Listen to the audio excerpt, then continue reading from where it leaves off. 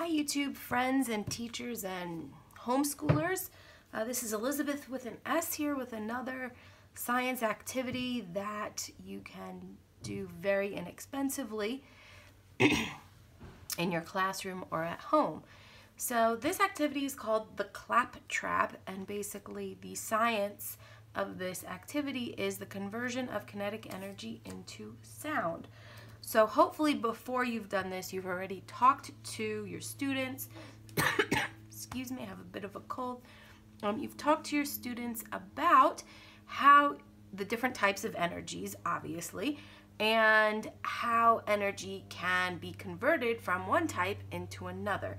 And so this uh, activity will illustrate kinetic energy, which is the energy of movement, into sound. There are some other energies involved that you could um, do as you progress with the activity, like there's elastic energy, and um, so what you need for this activity is you need some cardboard, and you can just use any old basic cardboard. If you have a box lying around at home, you can cut that up, and uh, you need a rubber band um, obviously scissors to do the cutting. So if your child is a bit young or your students are a bit young, you might want to prepare the um, pieces of cardboard ahead of time and they should be four centimeters by five centimeters and that's like um, four inches by mm, maybe three and a half ish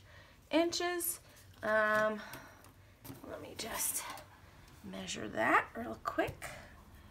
That is um, actually one and a half inches by two inches. Sorry about that. I mixed up my conversions.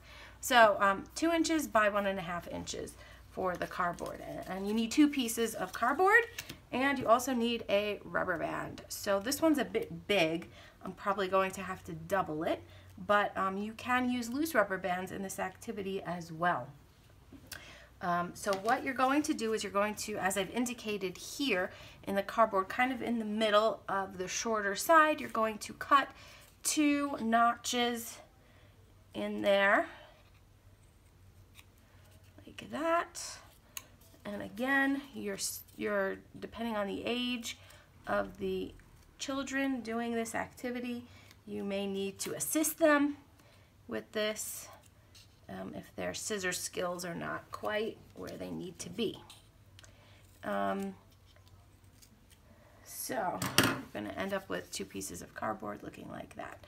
And what you're going to do is you're going to place the cardboards one on top of each other and then you're going to wrap the rubber band around it in the notches. And as you can see, my rubber band is too big. So I'm just going to wrap it around mm, maybe three times. so it fits like that, okay? And so what's going to happen here is you're going to gently open the cards like you're gonna open a book and uh, hopefully my cardboard won't bend. Okay, rubber band's too tight. Let's loosen it up a little bit. So it's a good idea to try out your materials beforehand before you give it to the kids. Um, but it could be another learning experience like why didn't this activity work? All right, so let me give that a try. So I'm gonna take it and twist it around like that. So basically what's gonna happen is when you let it go, it will snap like that and make a sound. So the end result should be that snapping sound that we just saw. Um, if you have the right kind of rubber band, obviously this one is not, and maybe a little bit of a stiffer cardboard, maybe more of a box. This is not from a box, this is from something else. Um, you probably can have a bit more of a dramatic effect, but you've seen what happens there. Um, you can then start talking to your students or your kids about what actually is happening. How did we get the sound to come from this thing, this little claptrap. Um, so they can, you can make them bigger if you feel you want to make them bigger, but I think this size is okay. Um, so really what's happening is it should be obvious that the sound that's coming from the the device, the clap trap, is um, noise that's produced because the two pieces of cardboard are clapping against each other. Um, and so it's obviously going to be clear to the students that the rubber band somehow is causing them to clap against each other. But the question you want to ask them is how? Okay, so for you, the teacher, basically what's happening is when the rubber band is stretched around like that, it's going to have energy stored into it. This is called elastic energy. Anything that stretches is elastic energy. When the clap trap is thrown, the elastic energy is going to be converted into kinetic energy. And the kinetic energy is the energy of movement. So the elastic energy causes movement, causes the movement of the um, cardboard pieces. And that's going, that kinetic energy is going to cause the cards to flip over into back into their original position.